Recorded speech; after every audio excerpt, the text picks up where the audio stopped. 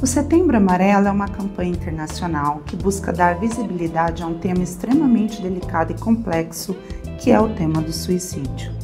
Sua origem está ligada à história de um jovem estadunidense de apenas 17 anos que tirou a sua própria vida em seu carro amarelo no ano de 1994. Em sua despedida, familiares e amigos utilizaram fitas amarelas como forma de prestar homenagem a ele. Desde então, a cor amarela vem sendo utilizada como marca da luta por trazer luz às questões de saúde mental e à temática complexa e multifacetada que é o suicídio. No Brasil, a campanha acontece desde 2013 como iniciativa da Associação Brasileira de Psiquiatria em parceria com o Conselho Federal de Medicina. Junto a eles, há atores sociais dos mais diversos entre os setores privados, públicos e sociedade civil, que unem suas vozes em prol de dar visibilidade ao tema. Só para vocês terem uma ideia, dados da OMS do ano de 2019 registraram mais de 700 mil casos de pessoas que tiraram sua própria vida no mundo. E junto aos casos subnotificados, esse número pode chegar em um milhão de pessoas.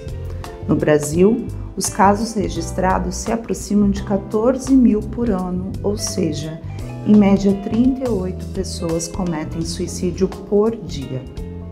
Falar desse tema, que ainda é um tabu, é de extrema importância, uma vez que a maioria dos casos poderia ter sido evitada se houvesse acesso a tratamentos psicológicos e psiquiátricos de qualidade e adequados além de mobilização dos recursos sociais para amparar essas vidas e, no mínimo, vê-las e escutá-las em sua dor com empatia.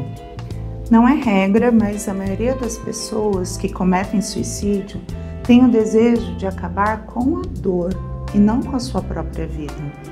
Assim, com a escuta e os olhares acolhedores, empáticos que são necessários, essas pessoas podem encontrar outras saídas para lidar com a dor emocional.